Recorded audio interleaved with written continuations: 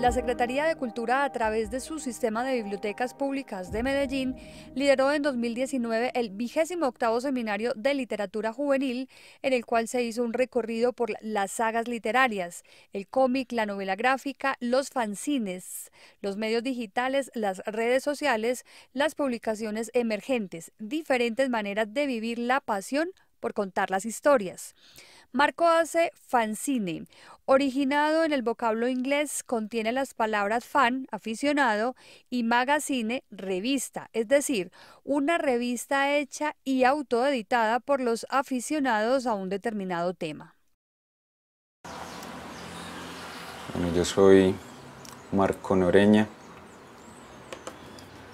Eh, vivo en Medellín, nací en Pereira aunque nunca he vivido allá, he vivido la mayor parte de mi vida acá en Medellín. Me dedico a dibujar y a escribir cómics, soy historietista, eh, fancinero, hago fanzines y dibujo, soy ilustrador a ratos también, escribo y también me desempeño como artista plástico y, como investigador por mi cuenta sobre todos estos temas que me interesan. Em, y pues nada, aquí estoy haciendo un volante para una fiesta en la que también pongo música más tarde.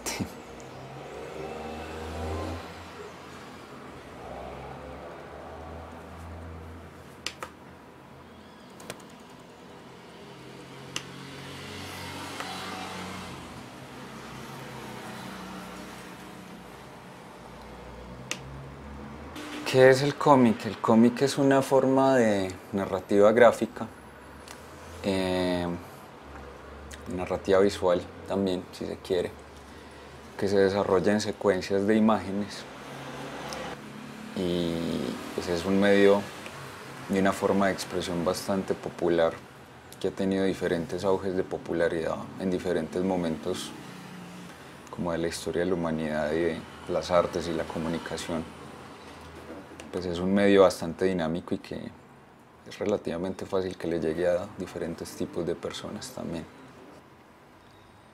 Creo que esa es una de las cosas por las que me gusta bastante el cómic y por las que lo tengo como uno de mis medios primordiales de trabajo y de expresión. No es un medio que suela tampoco ser como digamos popular como oficio, como trabajo, pero eso no, eso no le resta el encanto ni, ni la satisfacción que produce hacerlos.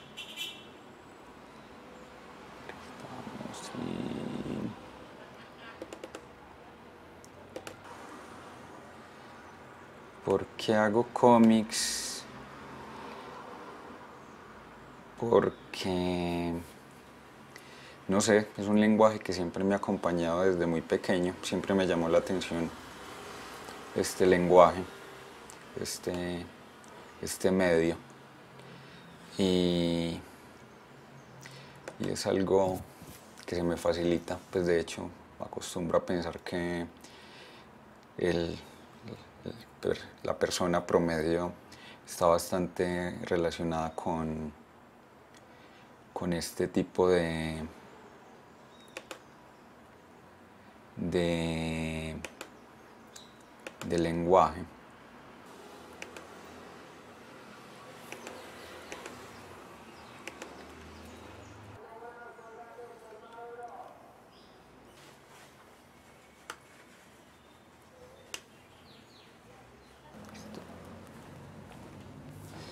Pues a mí lo que me suele inspirar normalmente es yo creo que la cotidianidad. O sea, no soy muy dado como a practicar algún tipo de género en particular, pero sí he hecho como mano de eso un poco. Pues me gusta la ciencia ficción, pero no, no digamos que la practique o, así como de mucho. Me gusta también como un poco los elementos de ficción, un poco, un poco sin sentido y porque sí en medio de una narración aparentemente normal, como meter elementos sobrenaturales y este tipo de cosas. Lo otro también es que soy muy dado como, como la experimentación formal dentro del cómic y otras cosas que hago. Entonces, una buena parte de mi trabajo también casi que se podría clasificar como experimental o qué sé yo, aunque no, no suelo darle tampoco yo mismo esa denominación a lo que hago.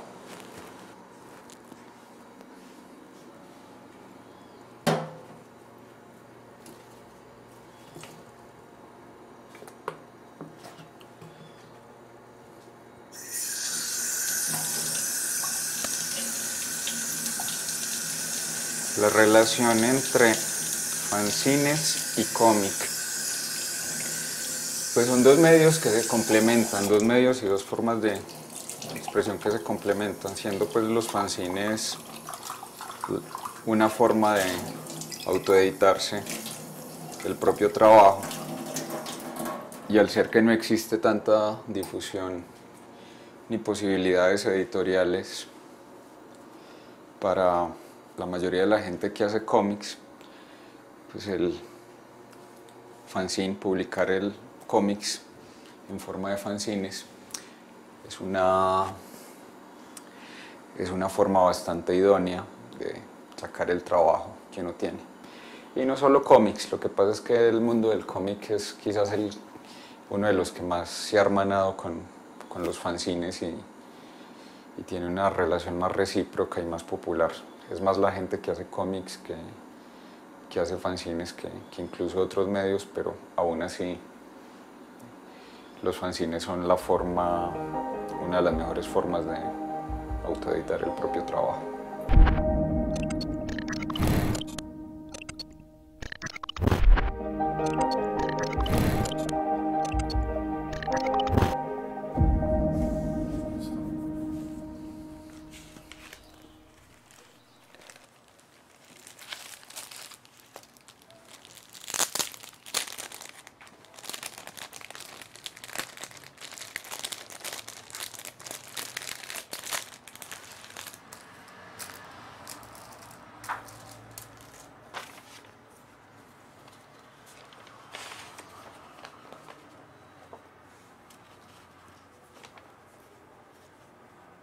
Es eso?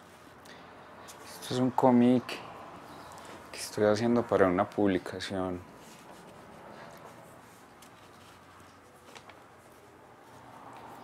Por invitación del Salón Nacional de Artistas este año. Estas son como las primeras paginitas que llevo de este proyecto, que igual lo tengo que terminar prontamente y aún pues todavía son como, como partes y piezas casi que abstractas pues, pero van configurándose, ya van tomando un poco más de forma, como con el juego gráfico que estoy haciendo acá con esto. Fue algo de lo que estuve haciendo y trabajando esta semana. O sea que por lo general vas creando a medida que vas haciendo? ¿O empezás con una idea fija y eso es lo que desarrollas? Eh, pues es que no, tengo como, no tengo como un proceso o métodos como, como fijos, siempre es como que con cada proyecto hago una cosa diferente. Entonces, cada, cada proyecto, cada proyecto tiene una, un proceso distinto. Igual lo que vengo haciendo de unos años hacia acá es que trabajo en, varios proyectos al tiempo. O sea, dedico diferentes partes del día a trabajar en diferentes proyectos como para poderlos ir adelantando. Pues siempre había sido como un poquito más anárquico, pero en los últimos años he logrado como organizarme un poco más e ir encontrando un poco algo parecido como unas disciplinas propias, pues.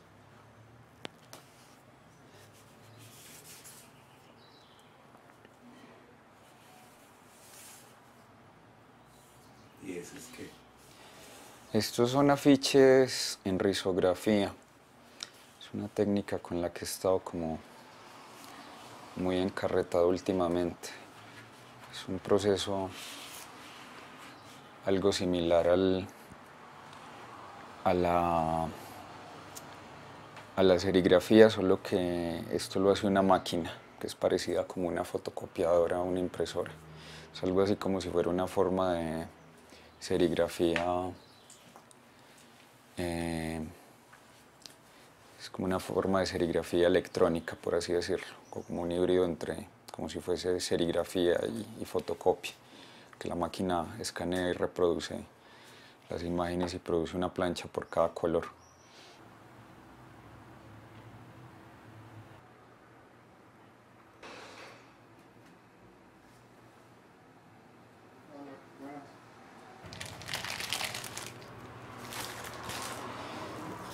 Desorden de fanzines sin armar.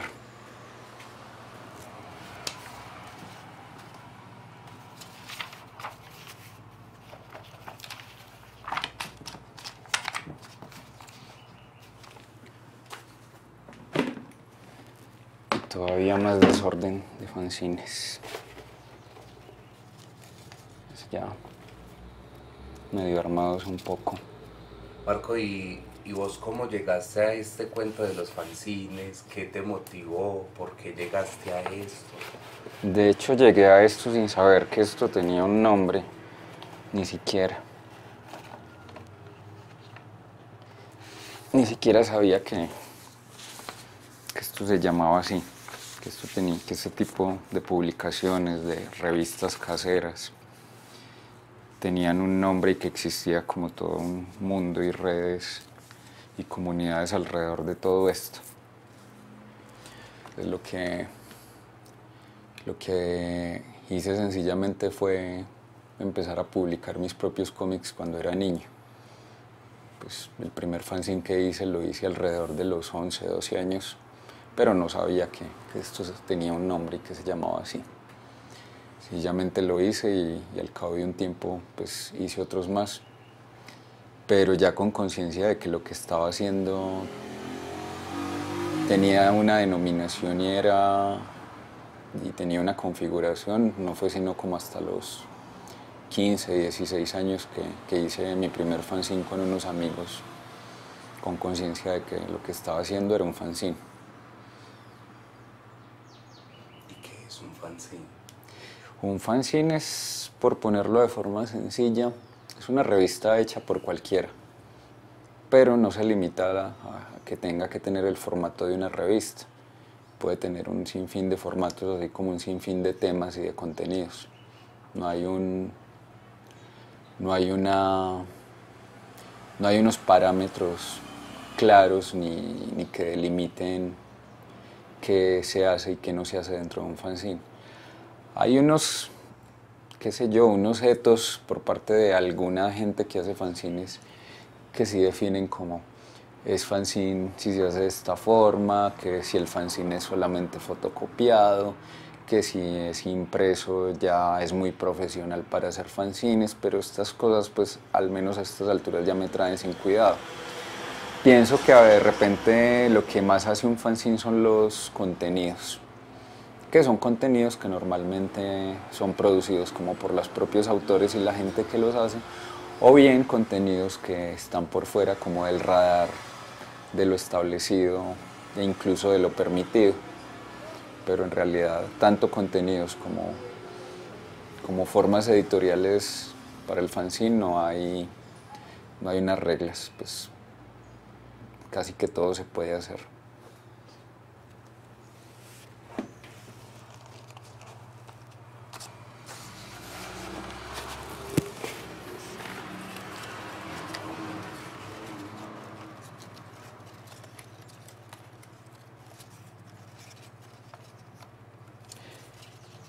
que me he vuelto a armar después de que se me acabaron todos los que vendí en la última feria en la que estuve, que fue en el Faire, hace unas cuantas semanas.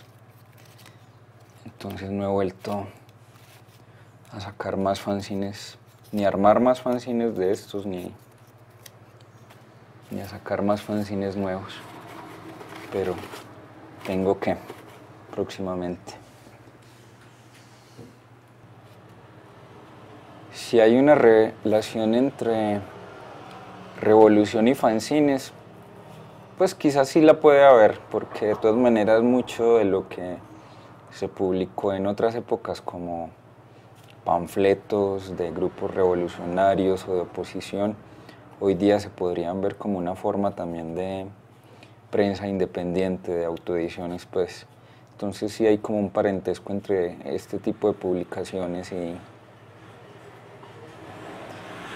y los fanzines, pero, pero realmente quizás es precisamente, es como una revolución más de la cotidianidad y de los contenidos cotidianos, yo creo.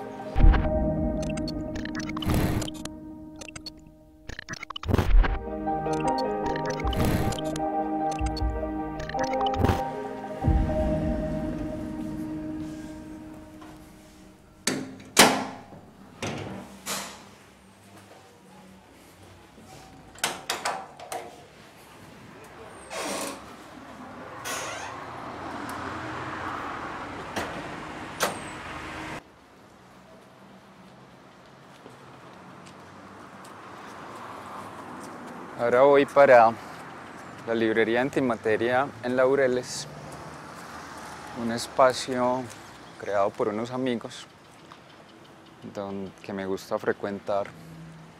Y es como uno de los puntos claves e importantes me parece que tiene ahora acá la ciudad. Y hacia allá es hacia donde nos dirigimos.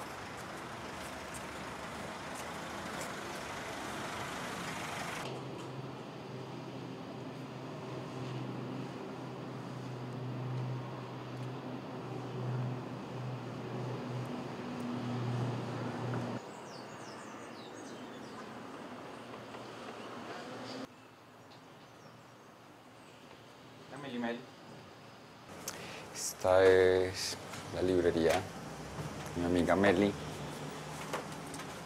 y mi amigo Johnny, que no está. Estos antimateria, libros antimateria. Y es un lugar bien especial. ¿Y por qué este lugar y no otro? Porque es un lugar agradable, es un buen punto de encuentro, es una librería con un surtido bien variado y bueno y entre otras cosas tienen un muy buen surtido de cómics, tienen un surtido muy amplio de fanzines en este mueble bien particular.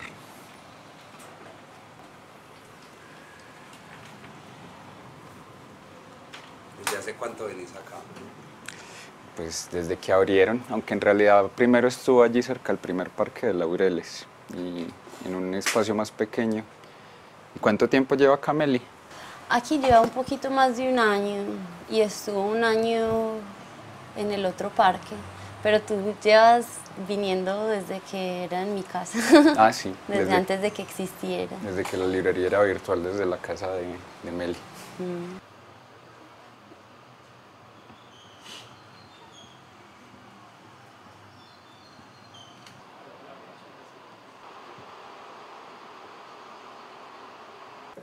Chicos, ¿qué tal?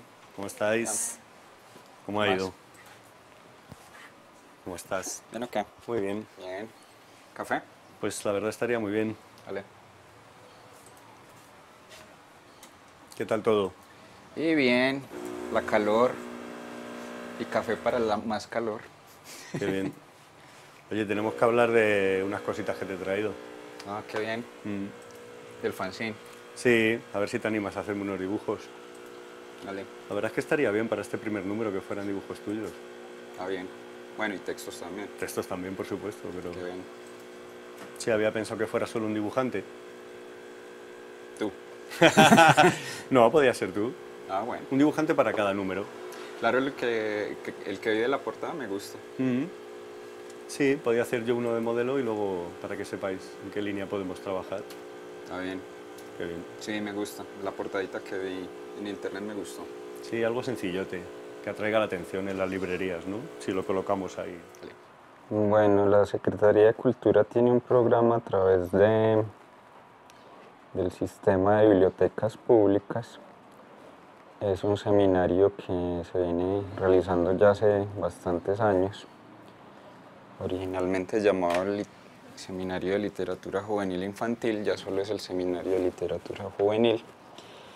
Y desde el año pasado pues me vienen invitando a, a participar y con actividades y como dar un cierto apoyo pues también en cuanto a asesorías de, de nuevos medios y nuevas lecturas, que por ejemplo fue el caso este año, el año pasado estuve trabajando, eh, dando talleres a, docentes de español y literatura y bibliotecarios y bibliotecólogos. Este año fue más una parte pues como de asesoría respecto a autoediciones y fanzines en las que estuve trabajando con ellos. También pues se moderó una charla en la que por ejemplo Meli de acá de Antimateria también participó junto con otros chicos, autores y divulgadores de fanzines y de, y de,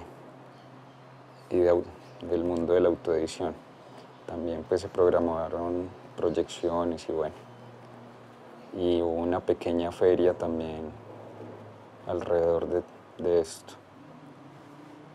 Ese colofón que es diciembre, qué bueno es. Sí.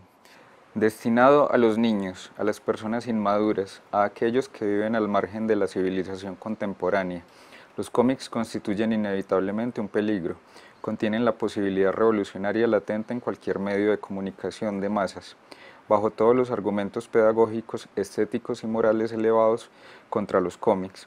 Se esconde el inexpresado y generalmente inconsciente miedo que la mayor parte de los bien pensantes experimentan cada vez que se encuentran frente a un instrumento altamente evolucionado y apto para influir a la masa y quizá mezclada con el miedo, la mala conciencia de no haber sabido encontrar un camino apropiado para un medio tan potente.